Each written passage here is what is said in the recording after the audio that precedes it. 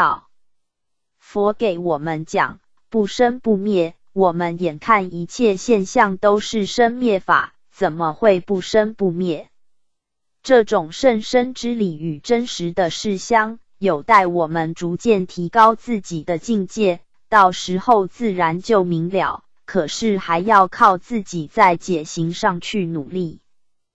古德给我们提示，学佛有四个层次，那就是信、解、行、正，分成这四个阶段。首先要建立信心，因为信心不建立就会怀疑，你就不肯去研究，或者研究就会懈怠放逸，不认真。无论做什么事情。如果对这个事情有怀疑，没有坚定的信心，这个事情就注定要失败，不会成功。无论大事小事，这个事情要做得很圆满、很成功，必定是具足充分的信心。佛在华严上说：“信为道源，功德母。信是大道的根源，是一切功德之母。”无量无边的功德从信心而生的，信能生功德，好比是功德的母亲一样，它能生。这个比喻比喻的非常好。信心的建立不是一桩容易的事情。我们先前所说的信佛、信仰三宝，都是属于迷信。信是信了，三宝佛法究竟是什么？还不晓得，不晓得就是迷。但是你能够信他，这个不容易。所以这种迷信是有条件的，不是没有条件的。有哪些条件？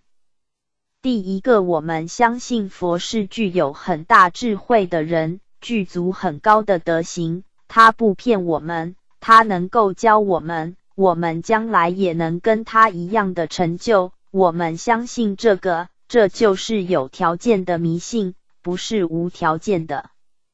其次，佛教传到中国也有一千多年，这一千多年当中，有许多聪明智慧的人，依照这个方法来修学，都有成就。这些人都是我们的见证。我们看到这么多人修行，这么多人成就。信心是由这些条件促成的，我们对他有信心。这个信的确是迷信的，有条件的迷信。有条件的迷信也可以称为强信，勉强的相信不能称为正信。什么叫正信？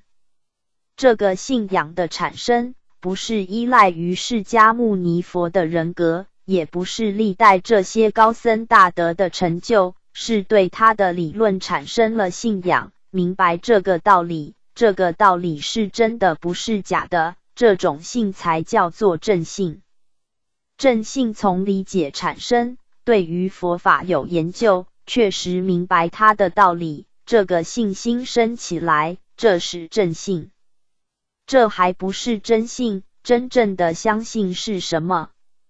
这个事情见到了，明心见性，我也见了性，见了性，这是真性，不是假的。解悟正性现前，正悟真性现前。信心从我们现在开始是强性，一直到成佛，真性才圆满。我们学佛无非就是修信心而已，建立真正的自信心。求解非常重要，求解有两个途径，一个是读诵，一个是听讲。这里面还有一个最重要的关键，我们一定要牢牢的记住，那就是要有一个好老师来指导，这是我们成败关键所在。古今中外，不管是佛法、世间法，他之所以有成就，一定有个高明的老师指导他。佛在《阿难问世佛及胸经》里一开端就说明，一定要接受名师教戒。这个名不是有名气的名，名气大了，知名度高，也未见得有真正的学问。这个名是光明的明，就是一定要有一个明心见性的老师。这个老师是过来人，唯有过来人指导，我们才不会错。路他走过，而且他走通了，他走到了，可见得他没有迷路。他指我们这路子，决定不会错。如果你找到一个老师，他自己走这个路没走到，自己迷了路，你再找他，他指你的路子也是一条迷途。所以一定要找高明的善知识去亲近他，这就是所谓的师承，这一点非常重要。一诸法三分，这一段提示我们研究的方法。诸法三分，诸法是指宇宙人生一切法，是出世间一切法。这是教我们在一切法里面观察，要面面俱到，不能只看一面。看一面就会发生误会，如果面面都看到就圆融。三分带到整个宇宙，小至一微尘，都有这三个部分，那就是体、相、用。它的本体、它的相状以及它的作用，这三桩事情是一而三，三而一，三方面都能正确的理解，才将这个法看透。得到它的真相。第一是讲体，体里面有性体，有质体。性体是真的，不生不灭；质体是有生有灭。性体是空寂的，那就是总相，万法皆空。这里面没有生灭相，而且是长恒的，所以没有断灭相。不但没有断灭相，也没有相续相。如果有相续相，相续就是生灭，就不是真常。真常里面没有相续相，这是讲本性。本性，佛经上常常讲法尔如是，法尔就是自然的意思，自然而然，本来就是这样。这是什么都加不上。如果你在这个地方起了一念一情，这一念一情就叫做无名。所以这个境界，佛经里面常讲不可思议，死是思维想象，意是言说议论，不能够思议。意思就是无名，一意就是戏论，戏论就是开玩笑。这是讲到纯真无妄，是体空，是真空。性体空而无执，执是物质，它没有执。此的举了两个比喻，如花之香，如镜之光。比喻只能比个仿佛，没有法子比到恰好，没有东西能比喻真如本性，没法子比的。这两个比喻说出空的意思，但是空不是无，空是有。如花之香，香是六尘之一，香怎么能比？实在是不能比。但是无可奈何，拿这个来做比喻。香是一种气味，可以远闻。花有香气，我们很远的地方就闻到花香，但是花并没有来。香的气味你闻到了，你看不到，你也捉不到它，确实有花香。这比喻空的意思。如镜之光，镜有光明，有光明它才能照。镜子是一个物体，有形相，它能照光，是没有迹象，再远的距离它也能照，都照在里面。这是实在不得已用这两个比喻。我们在讲习中常常用电波来做比喻，更容易体会。电波遍满空间，我们眼不能见，耳不能听，手也摸不到它。心里头也无法想象，它确实存在，无处而不在。可见得空是有，空不是无。但是我们无论用什么方法来说明，值得空不能变成有。性空，它能变成物质，这个太妙了。其实我们现代的科学家也相当聪明，发现值可以变成能量。能可以变成质，质与能可以互相转变。那是体里头第二个意思，就是质质体质与能可以互相转变。我们以《心经》的话来说，质就是色相，能量是空寂的，色即是空，空即是色，很容易能体会得到。可是质与能是一桩事情，这个职能从哪里来的？职能的本体是什么？再往上追究一层，职能的本体就是性能，就是本性。科学家到现在还没发现这个问题。性能是活的，职能不是活的，所以它是物质。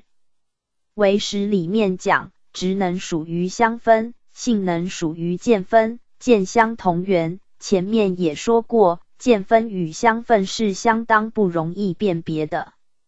性体是形而上，直体是形而下。析之本无，直体也是空的。你要是把它分析分析，它就不存在了。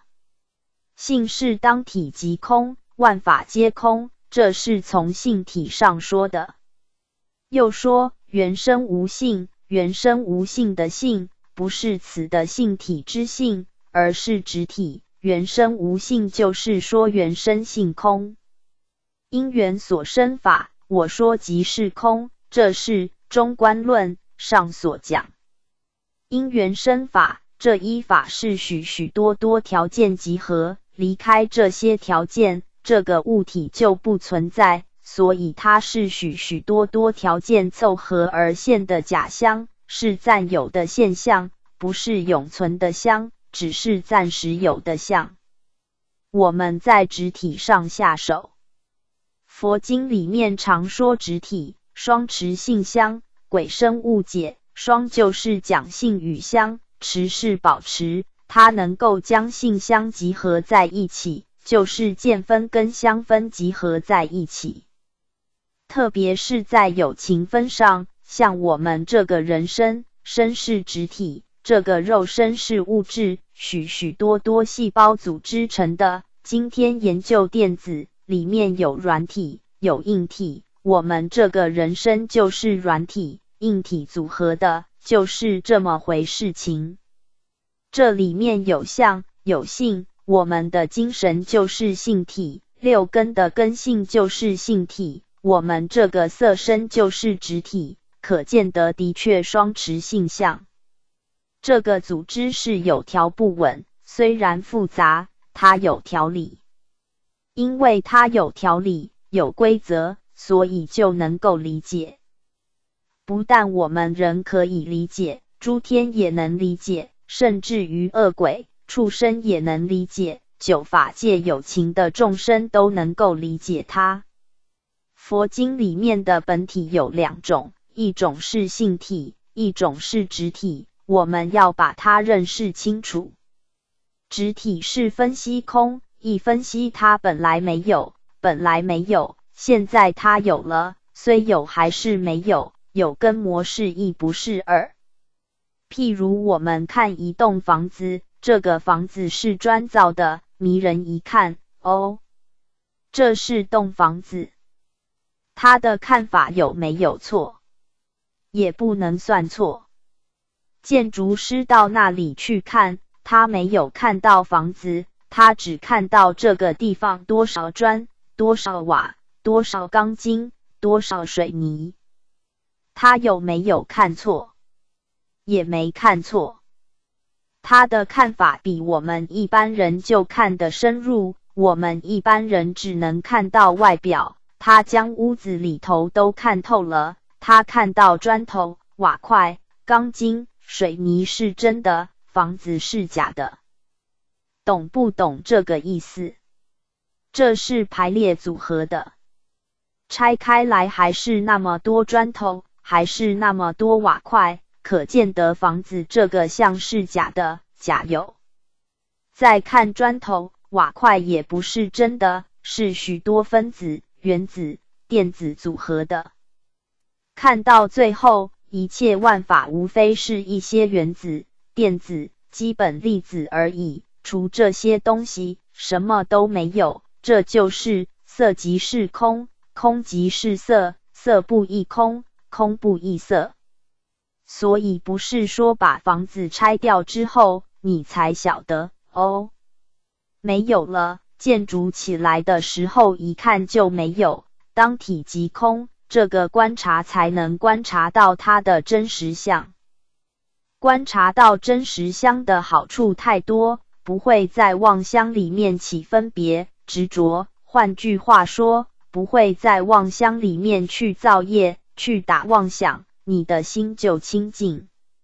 晓得一切法是平等相，一切法具不可得，你的心清净，清净心就生智慧，智慧心见一切境界相，就叫做观照。我们现在见色闻声，不是观照。因为我们里头有分别，有执着，离开了分别执着，见闻觉知皆是关照。所以关照的心是用真心，失去关照的心是用意识心，就是分别执着心。观是观察，跟尘相接触称为观照，是明了，一接触就明了，没有通过思维，不用心意识。底下是比喻，思非不直，不非一直，说明分析空。思非不直，直就是我们讲的直料体直。丝可以织布？这块布什么直料？丝织品，可以这么说法。如果说布的直料就是丝织品，能不能讲得通？讲不通。还有棉麻。尼龙很多种质料都可以做布，这个意思就是古人所讲的“白马非马”，就是这个意思。如果你说白马是马，黑马就不是马了。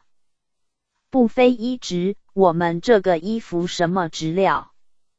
布的布衣。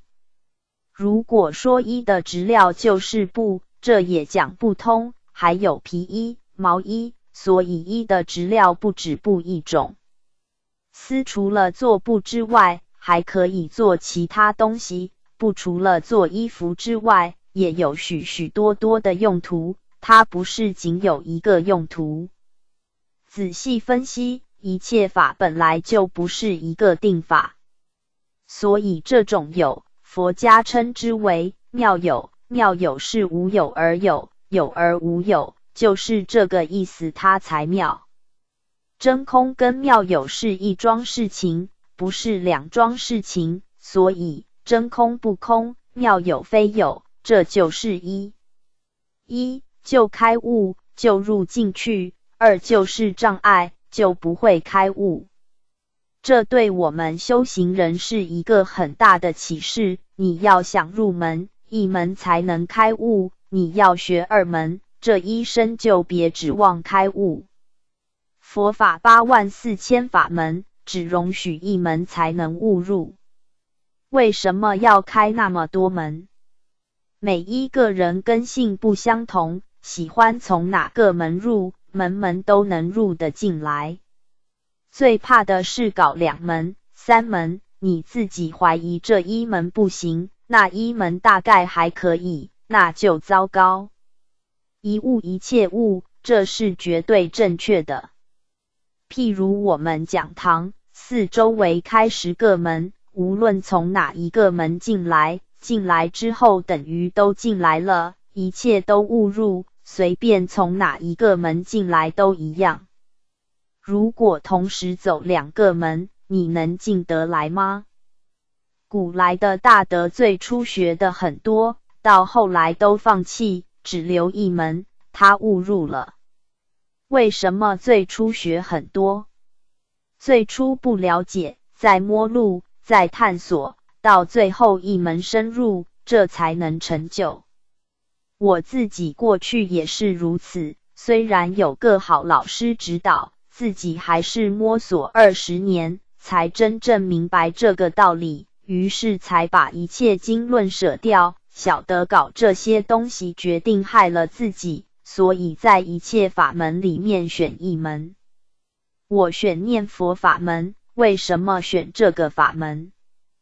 当年李老师劝我修念佛法门，我也念过印光大师文钞，我对他很赞叹，也信，但是不是真信，不是真信就不肯真修，还要搞别的代经大论。到以后发现这是真的，一切法门里面念佛法门确实高明。怎么发现的？在《华严经》上发现的。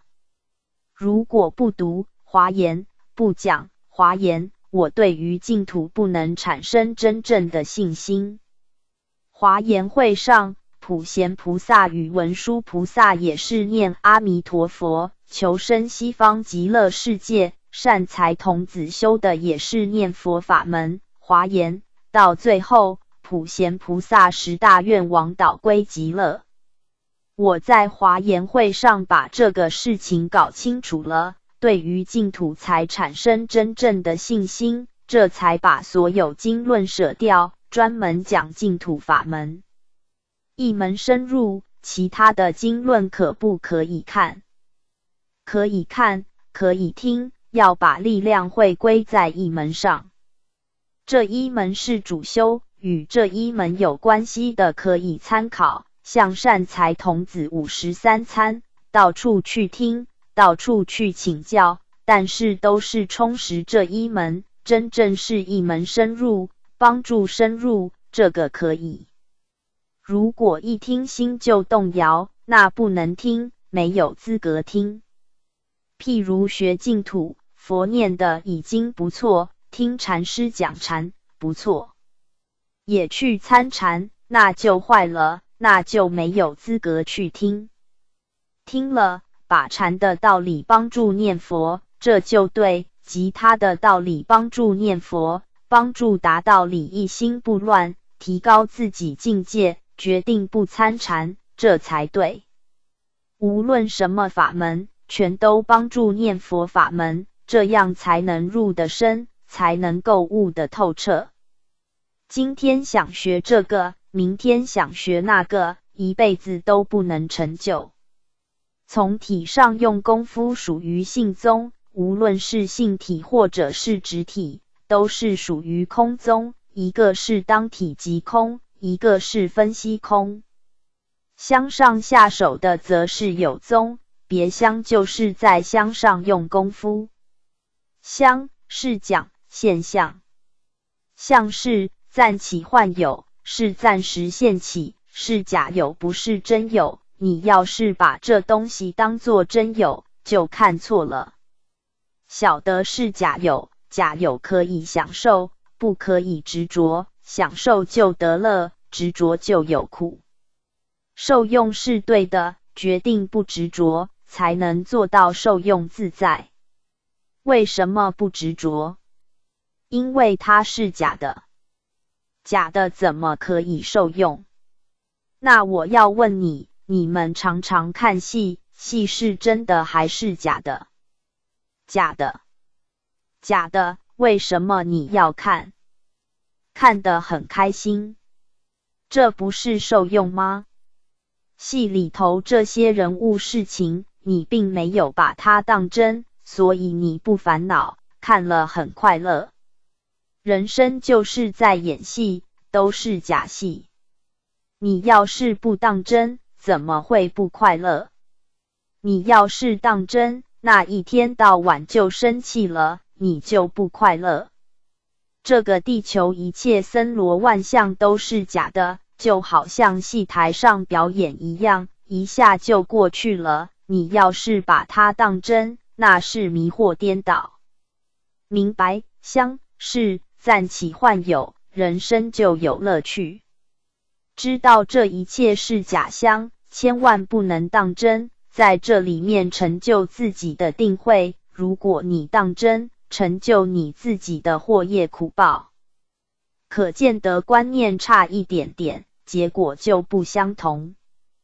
观念一错就迷，就把暂起幻有的假象当做真的，他就迷惑造业受报。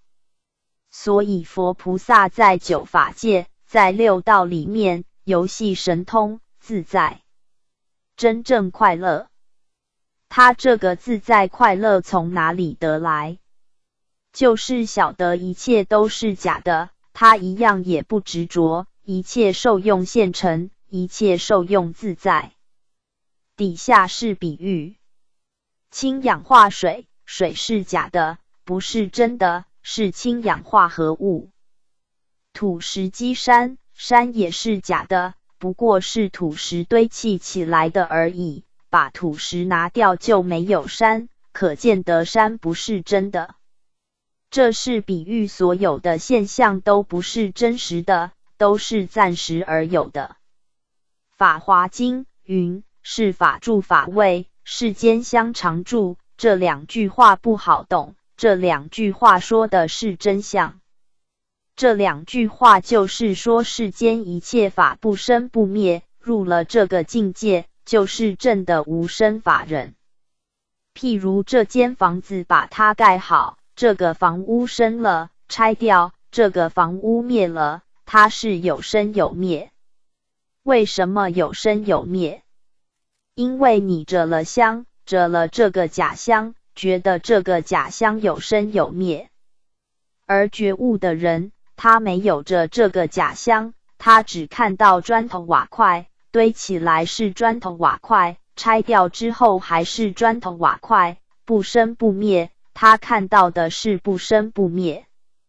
法华经里面讲是法住法位，世间相常住，这是实相真实相，其他一切组合是幻象。假象，既然是假的，哪有生灭可言？本来不生，什么时候有灭？这个意思更深一层了。虽然现的是假象，假象有作用，起相它就有作用，所以我们一定要把它的作用认识清楚。用是力量，能变现状，力就是能变化。水与气冰功各不同，水在零度之下结成冰，温度加高变成水蒸气。它是一个东西，三种形态，三种相不一样。气体、液体、固体相不一样，作用就不相同。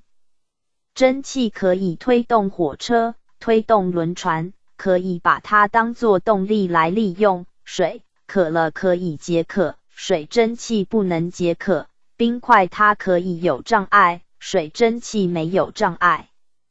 相不相同，作用也就有变化，各有各的作用。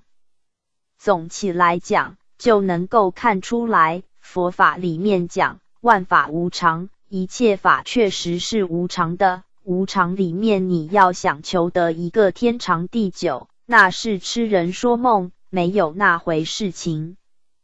这是教我们，对于任何一法都要从体相用三方面观察，三方面观察到了，才真正觉悟万法皆空，万法无常，原生无性。佛法里面常常讲的这三句，你就真正明白，真正开悟了。悟入就是智慧，智慧能断烦恼，能破无明，就能帮助你离苦得乐。并升起三由，体相用里面特别从相上下手研究差别的现象怎么来的。升起三由现象的发生有三个条件，这三个条件就是因缘果。这一段就是体相用三分里面相的注解，就是对于相的深入观察，它有因有缘有结果。结果就是这个相幻相形成。佛法里面平常讲因果，把当中缘省略了。因如果没有缘，不会结果；一定要有缘才会结果。佛法的修正，或者再讲浅一点，改造命运，可能吗？可能。有什么理论依据？就是依据缘。因已经造了，没有法子，不能改，可是因要是没有缘，不能结果。如果你能把缘控制住，就能控制结果。我过去造恶因，晓得恶因一定会感恶果，但是没有缘，它不会结果。我把缘控制，不让它有缘，虽有恶因，它不会结果。我造善因，想的善果。我把善因再加上善缘，善的果报一定现前。佛法讲改造命运，理论依据就在缘上，所以佛法不讲因生法，讲缘生法，特别强调缘。因是动机，是造作，这两种都是亲因缘。在佛学术语里面讲。这个因是种子，为实论上称动机为种子，是现行。种子就是习气。我们每一个人阿赖耶识里面都含藏有十法界的习气，佛、菩萨、声闻、缘觉、天人、修罗、恶鬼、地狱、畜生都有。十法界的种子统统具足，种子具足就是因具足。十法界无论哪一界的果报都有可能，你要到哪一道就看缘。人能不能成佛？当然能成佛。为什么能成佛？因为你有佛的种子，你有成佛的因。你现在为什么不能成佛？你没有成佛的缘，你缺少助缘，所以你不能成就。道理在此地，造作就是现行，就是我们现前一切造作。这个造作又在阿赖耶识里落下种子，所以现行也是亲因缘。因有过去跟现在，动机是讲过去的因，造作是现在的因。现行一现九因，我们不是十法界的种子都有吗？现在我们的的是人生，在十法界里面，我们是人法界这一个种子现行，其他九法界的种子在，并没有消失，但是它不起作用。一个法界现，九个法界隐，九个法界不现，只现这一个法界。这种情形就叫做业报生，业报。如果能把业报转变成智慧。那就的大自在，怎么自在法？就可以同时在十法界都现身，像那些佛与大菩萨无时无处不现身。我们讲分身的自在了，可惜我们现在没能做到。真正能做到，那就像我们念华严经、念梵网经，千百亿化身，这多自在。就不会感觉到很苦，分身无数。因是亲因缘，是最主要的一个因素。缘就是讲机会，缘里面包括有三种。第一种是所愿缘，就是所愿之缘。所愿就是我们所希望的。我们今天念佛，希望成佛，希望成无上正等正觉。无上正等正觉就是我们所缘的。我们现在为什么不能成就无上正等正觉？你现在所缘的不止这一样，好多好多，还有名闻利养、五欲六尘都是你所缘的。比较起来，恐怕名闻利养所缘的心还特别强，求无上菩提的心只用各一分、两分而已。不甚强烈，心里是希望，现在不得到还不要紧，还不想急着得到，所以菩提这个所愿缘的缘力量薄弱。但是你对于烦恼的所愿缘很浓厚，缘贪甜吃慢，这个力量太强了。无上菩提跟贪甜吃慢，你阿赖耶识的种子都具足。但是你现在想要无上菩提的心念不强，在时间上来讲很短暂。现在在讲堂里面心里想，我要求无上菩提，下了课马上就求贪甜吃慢去了，这不行。一天二十四小时，想到无上菩提只有几分钟，想到贪甜吃慢几十个钟点，那怎么行？当然，贪甜吃慢做主，因为它的时间太长，力量太强大了。所愿缘非常的重要，就是你有了期望，有期望还得要一个重要的因素，就是无间缘。无间缘是你这个期望不能间断。我们对于无上菩提常常间断，所以不能成就。不是不想成佛，成佛这个念头常常会被打断。就拿念佛来说，不是不想念佛，佛号常常间断，不能够二六时中相续不断。没有这个条件，纵然想念佛也是空的。可是你的贪甜吃慢是从来不间断，所以你想想后来有什么果报？这是成败关键的所在。清因缘因、所愿缘、无见缘都是自己本身具备的，外面的条件就是增上缘。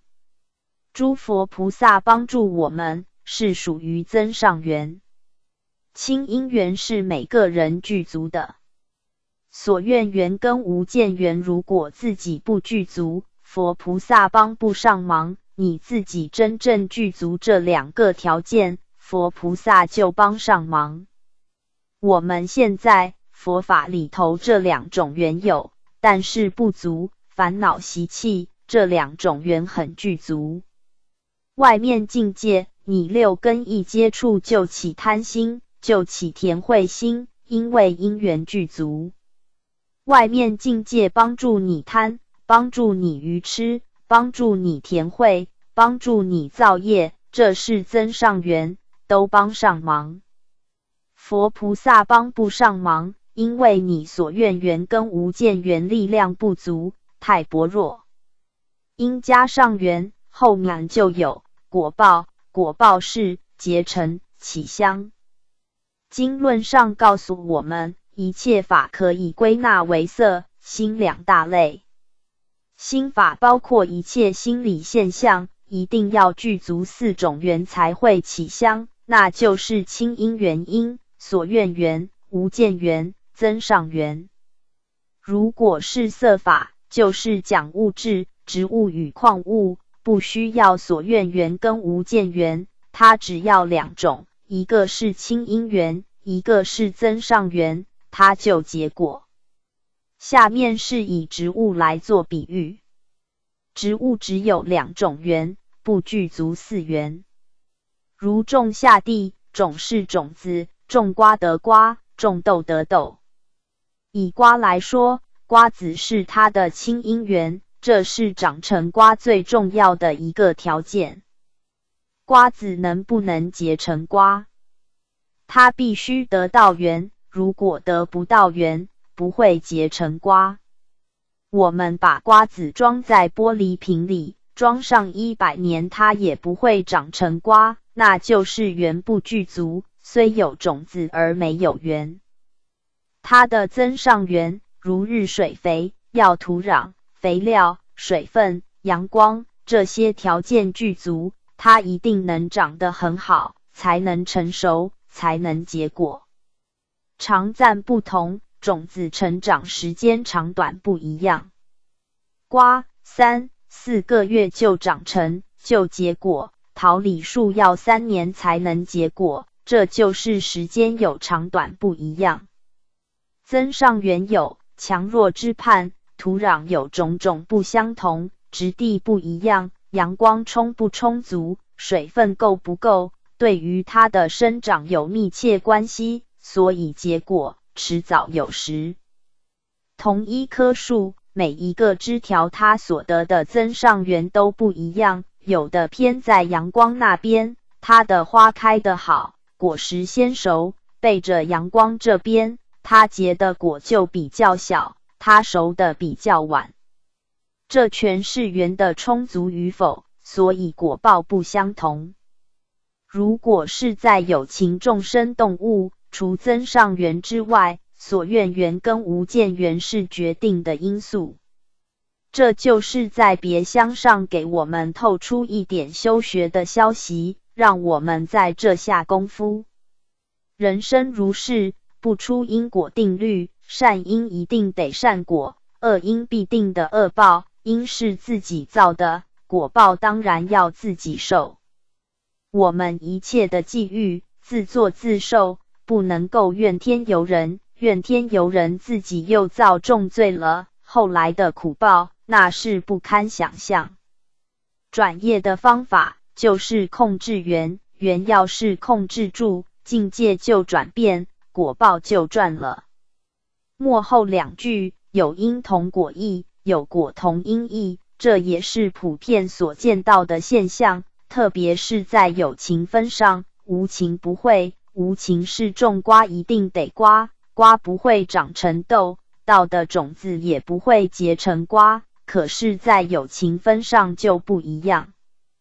譬如你们同学在一个班上念书。同一个学系，现在你们因相同，毕业之后到社会上，个人有个人的事业，发展到最后不一定能相同，这是因同果异。为什么会果异？缘不相同，每一个人的际遇不一样，将来在社会上种种因缘不相同，也有果同的，譬如政府里面的部长。都是部长阶级，可说是果相同，但他因不相同，这是什么原因？这些部长并不是都念政治，并不是都念同一个学校，这里头也是缘，可见得缘占决定的因素。所以佛法说缘生论，要我们特别重视缘，缘能够改变因果。对于一切现象，一定要懂得这样来观察，就不会迷惑。丁法有两端，法有两端，一切法不外乎是理，是理是义，不是二。是是迹象，是行动，迹象就是现象，行动就是利用，就是三分里面的相与用。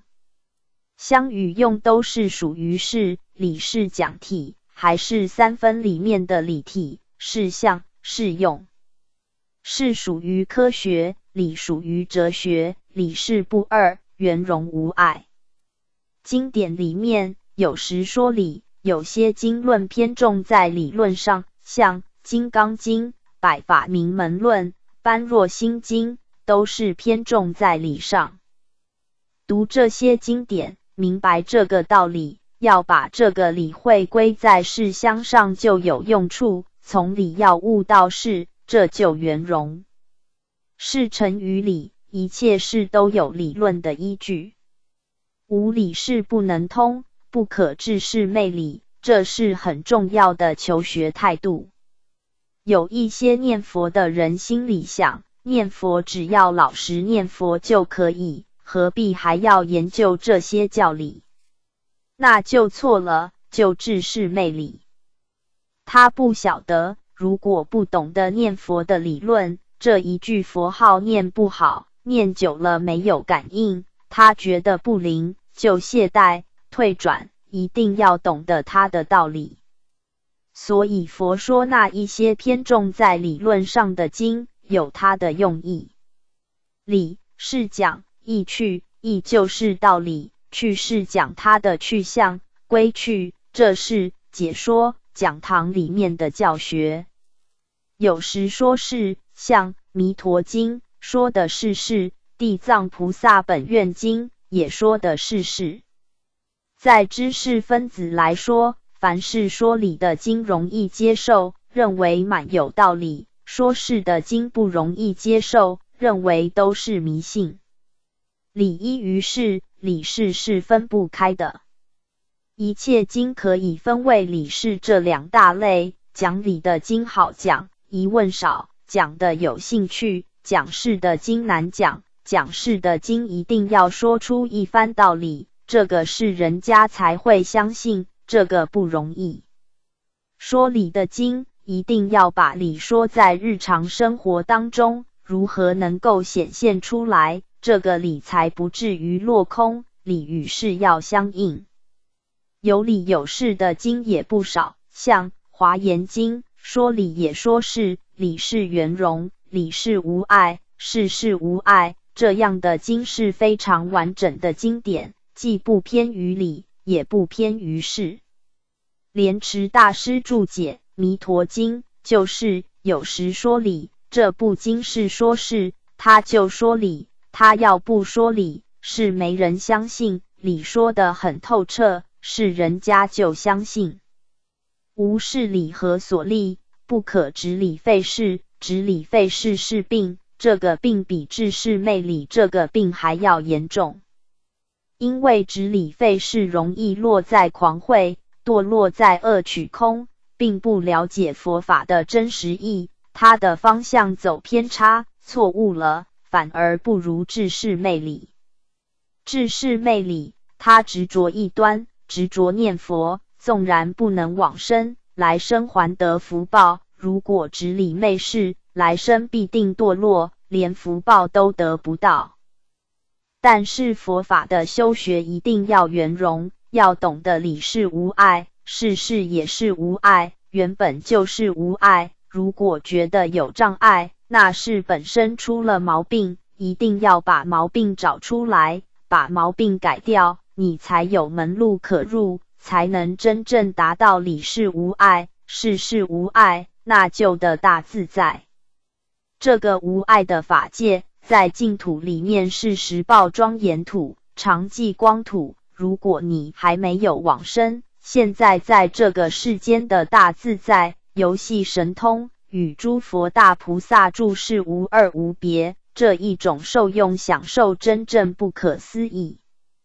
这个表介绍完，我们做一个总结。表里面提出八个项目：体、相、用。因缘果是理，这就说明无论观察哪一法，你要观察到八个方面，八面玲珑，才能得到真相。缺少一面都是迷惑，不能得其真相。可见得学佛并不盲目，学佛人对于一切法的观察确实相当的细密。八面观察也不过是看一个外表而已，略知。还谈不上深度。如果是深一层观察，这八面每一面里头都有八面。单单说体，体里面有体之体、体之相、体之用、体之因、体之缘、体之果、体之事、体之理，每一条里头都有八条，六十四面。六十四面观察，才算是有一点深度。还不太深，再深一层观察，这六十四面，每一面里头又有八面，五百一十二面，算不算最深？不算，其身无底。佛观察这个世间真是不可思议，我们怎能比得上？我们连一个表层都没有顾及到，只看到一面、两面，就以为自己很了不起。所以佛说我们邪知邪见，连表层的八面都没看清楚，怎么能说自己有智慧？从这里你就能体会到佛菩萨智慧之大，不可思议。我们不能不佩服。学佛特别贵重全体圆融，面面观察到就是全体圆融，这是真正开智慧。如果是缘解初开，智慧现前，这个时候的境界，如同佛在经论里面常常告诉我们：不起于见，不着于香。实际上就是《金刚经》上所讲：不取于香，如如不动；不起于见，就是如如不动。不生之解，不着一切香，心行处灭，言语道断。这个时候的境界就是实相现前，也就是一真法界现前，也就是实报庄严土现前，或者说清净法身现前。佛跟我们讲的真是清清楚楚、明明白白。世尊说法的本意，就是在破我们现前的执着人我执、法我执。人我执演变成烦恼障，法我执演变成所知障。这两种障碍使我们的清净心不能现前，使我们的法身般若都不能现前。这是病根的根源。没有这两种执着，真性就现前。所以情执如果不断，再要执着言说名字香，又生了疑惑，又起了错误的解释。就是又起了邪见，那是病上加病。这是我们学佛一定要注意到的，不要学成病上加病。一定学了之后，那个病要减轻。要晓得听佛法是破执着，是把我们妄想分别从心地里清除，可不能增加。前言。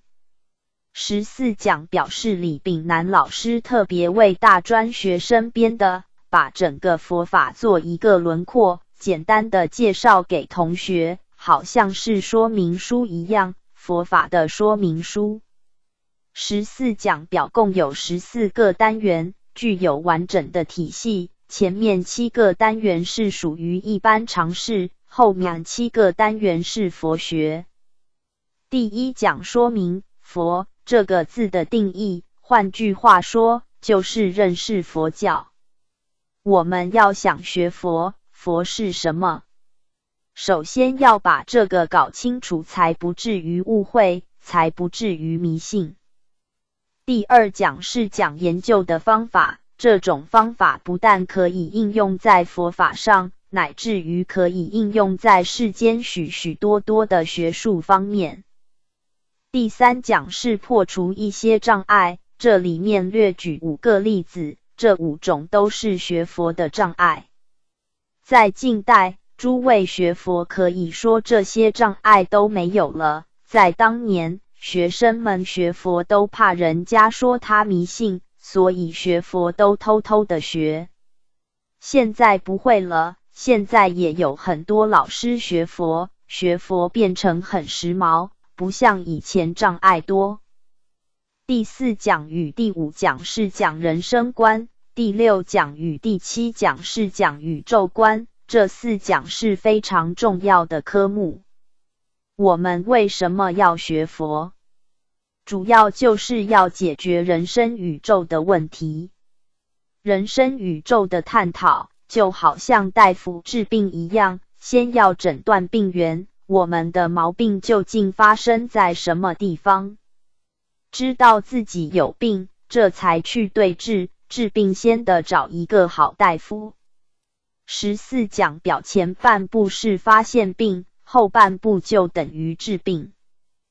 第八讲就是佛教的内容，等于介绍医生。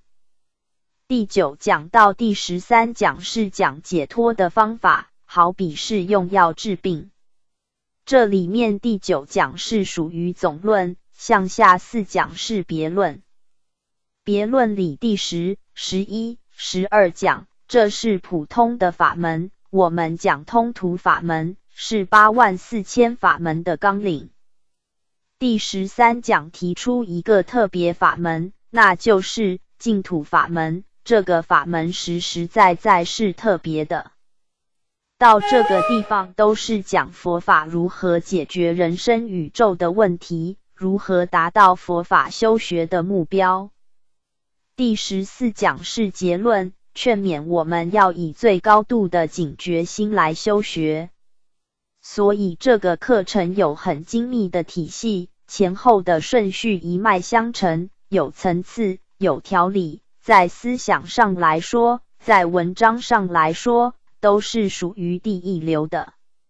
这是把十四讲表整个的内容结构给诸位说出。佛教是佛陀的教育，它不是宗教，也不是学术。佛教本身称宗教，是指宗门、教下。宗是宗门，就是禅宗；教是教下。十个宗派，除禅宗之外，其余九个宗派都叫做教下。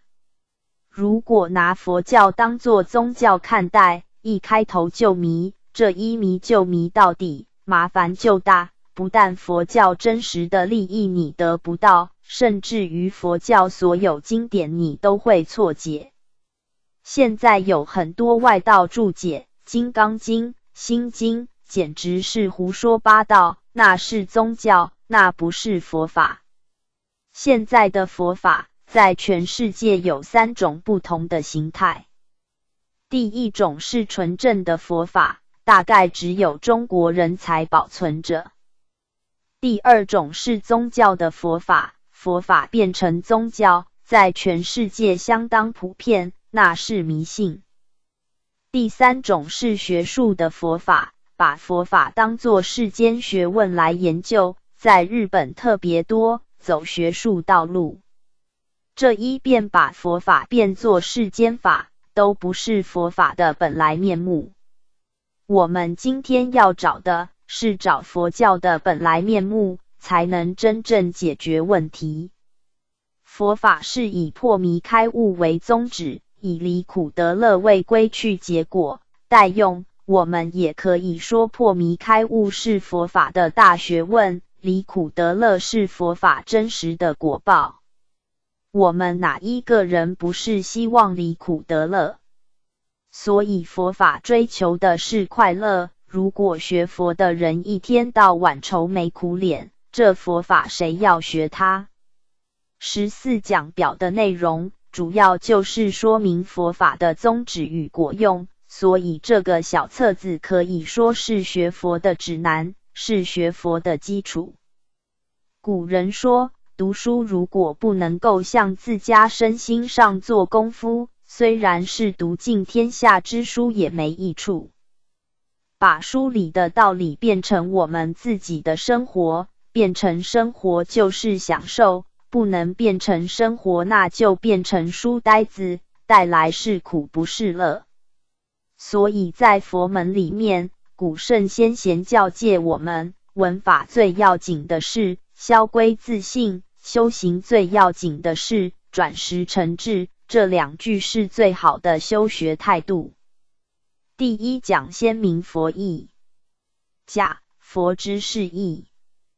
第一段是佛之释义，解释佛这一个字的意思。这一个字是从印度梵文音译过来，音是福的音，旁边加一个人，当时是心字。这一个字是梵文佛陀耶的略称，中国人把尾音省略，单称一个。佛字，佛这个字的意义可以说是把整个宇宙人生都包括进去。这里面有本体，有现象，有作用。体就是我们讲的佛性，唯有佛性是真实的。实在讲，佛性应该只讲一个性，所以佛经常讲自性。有情众生动物的自性称为佛性。无情众生、植物、矿物的自性称为法性。佛的意思是智慧、觉悟。智是体，是性体；觉是自性其用。自性的本体是智慧，自性的作用是大觉。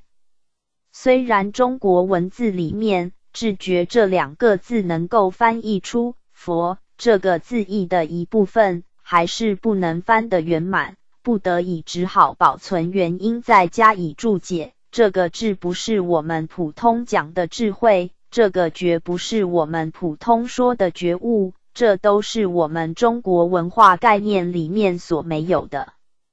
先讲智者的含义，智包括三类：一切智、道种智、一切种智，这些都是佛学术语。第一个意思是一切智，用现代哲学名词来讲，就是正确的了解宇宙的本体。这样的智慧，在佛法里称为一切智。一切智（括弧里面就是简单的注解）知法总相。法这一个字在佛学里是一个代名词，是整个宇宙人生的总代名词。宇宙人生一切的理论、一切的现象、一切的过程、一切的一切，带到整个宇宙，小到一微尘。我们今天所讲的原子、基本粒子，皆称为法。所以，法是宇宙万有的总代名词。总相就是共同的现象，无论哪一法都不例外，都有共同的现象。这个相我们就称为总相。每一个法不相同，我们就称为别相，差别的现象。佛法讲原生性空。性空就是总相，原生就是别相。总相相当于现代哲学所探讨宇宙的本体，别相相当于哲学所讲的现象。本体是什么样子？本体是空相。佛法讲空寂，但是这个空不是当作无讲，空不是什么都没有。佛法里面讲空，空里头有。空不是无，空是有。那奇怪了，有怎么能说空？说空是因为我们眼睛看不见，耳朵也听不见，我们没有办法接触到，但是真的存在。譬如电波，我们拿个无线电收音机，频道一对，马上就有声音。电波冲遍空间，我们看不到。电波在哪里？抓也抓不到，但它确实有，所以佛法讲空，它有，它不是无。心经里面讲色即是空，空即是色，一切法的总相是万法皆空，无有一法不空。从本体上讲，一切法都是空的。现代科学家也似乎体会到这个意思。但是没有佛法说的那么样的精深博大。现代科学家承认，一切的物质都是基本粒子组合，组合的方程式不一样，才有种种元素，有元素再加上不同的方程式，所以才有宇宙万有、森罗万象。追根究底，都是同一个物质基本粒子这个东西。科学家发现，这是最小的物质，所有东西全是它组合的。它从哪里来的？它的究竟又如何？科学家不懂。佛法里说的更深，这个基本物质从哪里来的？从见分变现出来的，这就是精神跟物质是同一体。唯识里面讲，见相同源。见分跟相分都是从自证分变现出来的同一个本体，自证分就是自信，见分就是我们今天所讲的精神世界，相分就是物质的世界。佛法讲物质，它是讲四大：地、水、火、风。四大就是说明物质有四种特性，所以它才能够变现万法。变现十法界一正庄严的大，它是一个物质，虽然很小，它还是有体积。地是有体积的物体，所以地是代表它是一个物体。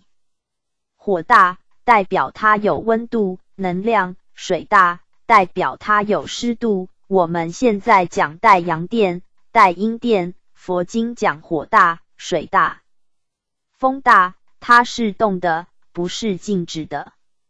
最基本的物质有四种特性。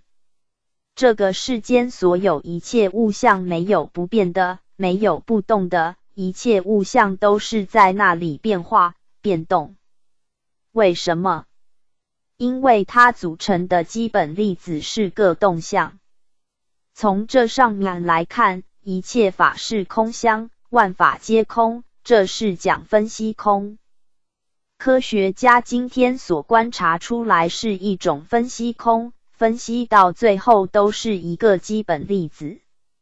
佛法更深入去观察基本粒子是从哪里来的，从法性里面无中而有，无中能有，有又能归于无，所以空有不二，空有是亦不是二。换句话说。精神能够变物质，物质又可以化为精神，绝不是今天所讲的职能互变的职与能，那是物质之能，不是真如本性之能，精神之能。精神之能可以能够变成职能，职能可以变为物质。这一层科学家还没有发现，相信科学不断的进步，一定能够发现这个原理。所以从一切法的本体去观察，它是一个空相。如果真正了解一切法的空相，有什么好处？好处太多。你的烦恼没有了，你的分别执着没有了，心能够在境界里呈现出清净平等。佛的心是清净的、平等的，他从哪里得来的？他知法总相，怎么会的清净？一切法理，他不执着、不分别，他晓得一切法原来是一样，没有两样。一切境界没有好丑，同是基本粒子造成的，造成的原料是一样，所以一切法无有一法不平等。平等心从这里起的，心平等，当然就清净。这是第一种智慧，这一种智慧，阿罗汉就得到了。佛法所追求的是无上正等正觉，一切智现前叫做正觉。真正觉悟，正确的觉悟，对于宇宙人生不迷，正确的认识，称之为正觉。这个正觉并不圆满，为什么？只知道一切法的总相，晓得一切法是平等的，是空寂的，但是不知道现象怎么来的。晓得皆是基本粒子组成，没错。基本粒子怎么会组成这么多东西？十法界一正庄严，森罗万象怎么来的？这就讲现象，这个学问又高一层，能够正确明了宇宙万象的智慧，称为道种智。道种智，种就是种类，在宇宙之间，无论是动物、植物、矿物。种类无量无边，这么多的种类怎么来的？一般人想不出来，以为一定有个神在那里制造。神造万物，神就太忙了，一天到晚忙着制造，造了这些人，后来又反对他，这不是自己找麻烦吗？这些宗教家们找不到答案，就想出一个神来制造。神是从哪儿来的？是人心里变现出来的。上帝能造万物，什么人造上帝？我们大家造了上帝。我们要是不承认他是神，是上帝，他也无可奈何。所以不是上帝制造的。道就是道理、程序。什么道理？怎么样一个过程会演变到现在的森罗万象？这个学问就相当复杂。这种智慧就是道种智，这是菩萨的智慧。道种智现前就叫做正等正觉，比正觉要高一层。他不但知道宇宙的本体，还晓得一切现象发展的过程。知法总相就是理体上的认识，知法别相就是现象的认识。第三种智慧，这是最圆满、最究竟，对于宇宙人生的真相，究竟圆满的明了，没有一丝毫的迷惑，也没有一丝毫的差误。这样的智慧称为一切种智，一切就是前面所讲的一切智。种质就是道种质。我们讲本体跟现象是分开来说，其实本体跟现象是一桩事情。如果拿《心经》上的话来说，一切智就是空，道种智就是色，一切种质就是色不异空，空不异色，色即是空，空即是色，原来是一不是二。假如诸位能够发现到一，你就入门。佛法的门称为不二法门，你就入不二法门。你晓得总别不二，这就入了佛门。如果总别是二，你就无法入门。这是说性相不二，性相一如。这是启用当中的正知正见，就是我们讲的佛知佛见，《法华经》里面所说的开示悟入佛知之见。这个智慧现前，这才叫做无上正等正觉。唯有佛圆满正德，三种智有密切的关系，是一而三，三而一。罗汉偏在一切智，菩萨偏在道种智，唯有佛才圆满。我们学佛最聪明的修学法，知见要圆不要偏，主观就偏，客观就圆。诸佛如来没有丝毫主观观念，他是圆融自在。阿罗汉有他的主观观念，菩萨也有一些主观观念，所以他不圆。这是说明我们如果想学聪明，就要学客观，不要有主观观念存在，才能够成就圆满的智慧。这三种智从什么地方得到？从一心当中得到。行门里面。直接了当求无上正等正觉的，就是《弥陀经》使用的方法，一心不乱。在中国，无论哪一宗、哪一派，没有不念佛，包括禅宗，禅宗的课诵本晚上都念《弥陀经》，都念阿弥陀佛。《华严经》里修行的方法有两千多种，可以说是相当之多。但是最重要的就是念佛法门。善财童子五十三参自始至终就是修念佛法门，而普贤菩萨导归极乐，显示出无论哪个法门可以成就正觉，可以成就正等正觉，但是不能成无上正等正觉。如果要成无上正等正觉，一定要修念佛法门。念佛法门代表一心不乱，唯有一心不乱，才能达到一切种智。所以念佛法门是修学一切种智的方法手段，实实在在不可思议。觉者，这是讲智慧的作用。智是体，觉是用。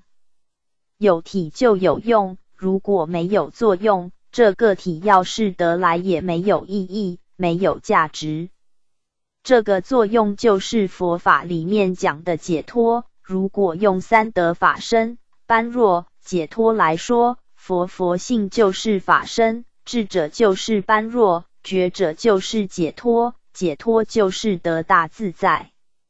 作用又分两方面，一个是对于本身，一个是对于环境。对本身的是觉察，对环境的是。觉悟，这里有两个专有名词，第一个是烦恼障，第二个是所知障。烦恼本身就是障碍，所知本身不是障碍，所知是我们应该要知道的，但是所知现在变成不知，这里面必定有一种障碍，障碍所知，我们称它为所知障。这两个名词的含义一定要清楚。烦恼障，烦恼障就是见思烦恼的总称。见是见解，思是思想，见解跟思想错误会带来许许多多的烦恼。见思烦恼里，以我见为第一。唯识论说了一百二十八根本烦恼，以及等流与随烦恼。数目繁多，百法明门论把它归纳为二十六个，六个根本烦恼，二十个随烦恼。可是诸位要记住，这是归纳为大类，每一类里面包含的头属是说不清楚的，烦恼无量无边。我们要想断烦恼，这烦恼像树一样，无量无边是枝叶。能够找到它的根本，从根本上断就容易。烦恼障的根本是我执，有我才有烦恼，如果没有我，烦恼就没处落脚。烦恼障的根源是我执，所知障的根源是法执，这两种执着要是破了，这两种障碍就没有了，这才能明心见性，成佛作祖。种种烦恼，它能够扰乱我们的身心。能够障碍涅盘。涅盘是梵语，通常翻作圆寂，圆是功德圆满，即是清净寂灭。我们的真如本性、佛性、自信、清净心，确确实实是圆满功德，是清净寂灭。就像六祖所说的：“本来清净，本来具足。”现在我们的心不清净。不清净是因为你有烦恼，你有烦恼才不清净，有烦恼才不自在，有烦恼才有无量无边的苦报。所以学佛首先就要断烦恼。学佛最低的限度要能够改造命运，要能够转业，这是最起码的。如果连这一点都做不到，我们就白学。像圆了凡。确确实实把自己的命运改过来。在台湾，许多学佛的人后半生的命运都是自己学佛当中改造的。李炳南老师今年九十六岁，他说他的寿命没有这么长，顶多也不过六十九岁而已。今年九十六岁，自己修得来的。我在没有学佛之前。有很多人给我看相算命，说我过不了四十五岁。我今年五十九岁。